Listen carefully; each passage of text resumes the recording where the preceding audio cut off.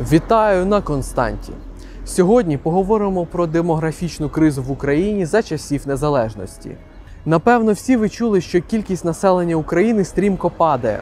Особливо жахаючим є вплив війни на цей процес. За 30 років ми втратили майже 11 мільйонів населення, тобто більше 20% від його загальної кількості. Було 52 мільйони людей, стало приблизно 40. Цей випуск є лише першою з двох частин про демографічну кризу в Україні. Сьогодні ви дізнаєтеся головні причини української демкатастрофи до повномасштабного вторгнення. А через декілька днів на Константі вийде відео про безпосередній вплив 2022-2023 років на демографічні процеси в нашій державі. Прогнози, чесно кажучи, невтішні. Починаємо.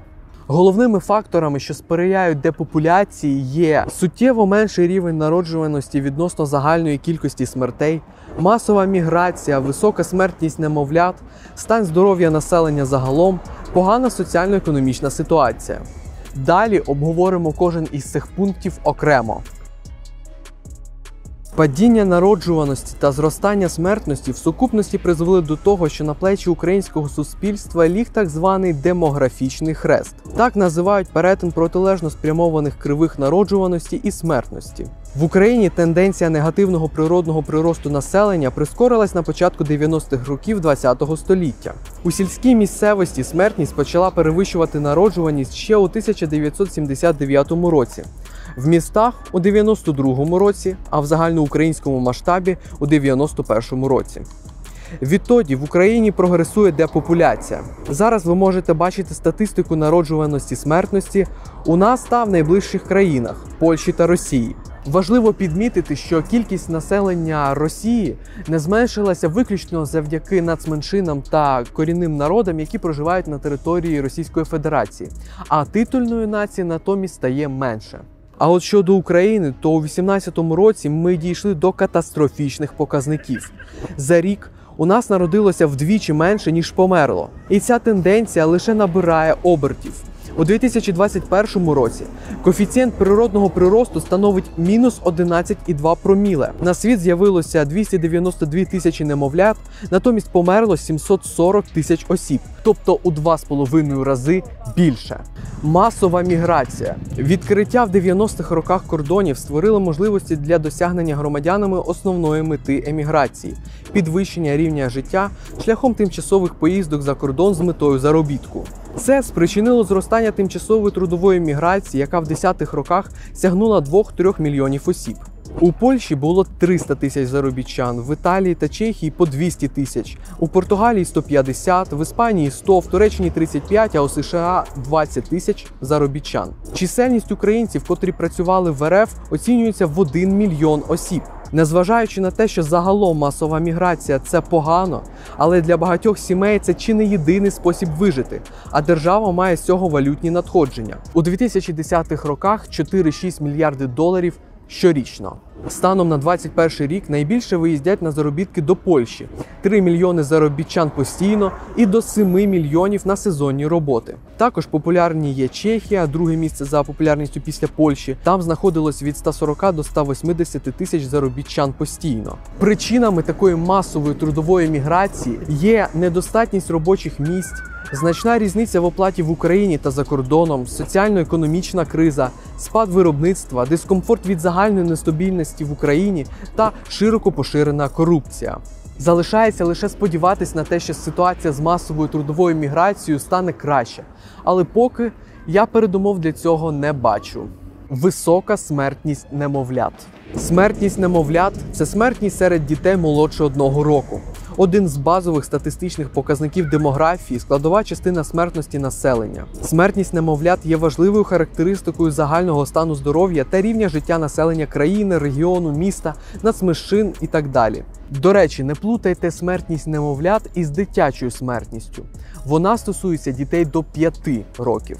За даними Міністерства охорони здоров'я України 2020 року, Україна займає одне з найперших місць в Європі за показником малюкової смертності 7,5 на тисячу народжених живими. У країнах ЄС цей показник значно нижчий 3,4 на тисячу. Також великою проблемою є передчасні пологи. Щороку більше 20 тисяч немовлят народжуються передчасно. Це кожен 15-й новонароджений. Держава намагається якось покращити ситуацію зі смертністю серед немовлят, фінансуючи медичну допомогу новонародженим. Але якихось приголомшливих результатів ми не маємо.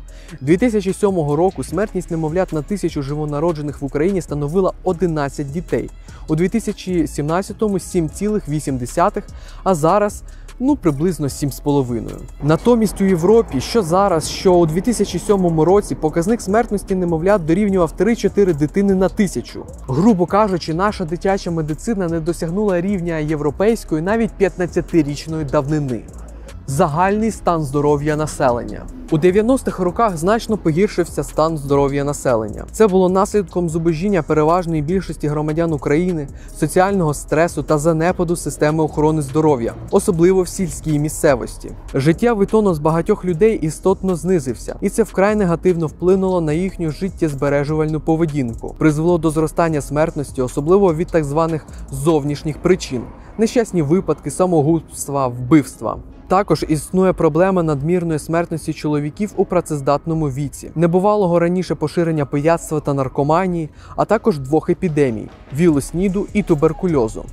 За даними досліджень Інституту демографії та соціальних досліджень НАН України, показник середньої тривалості життя в Україні 2007 року становив 67,8 року, у тому числі у чоловіків 61,8, у жінок 73,8 року. Зараз ситуація трохи краща. Чоловіки живуть з 68 років, а жінки 77. Але що 15 років тому, що сьогодні Україна відстає за тривалістю життя від країн Європейського Союзу на 9-10 років. А від Японії у цій країні показник тривалості життя є найвищим у світі. Україна у 2007 році відставала більш ніж на 14 років і більш ніж на 12 років сьогодні. Погана соціально-економічна ситуація. Глобальна тенденція падіння рівня народжуваності в Україні посилилася у 90-х роках ХХ століття у зв'язку з економічною кризою, зниженням рівня життя, доходів широких верст населення, невпевненістю у майбутньому.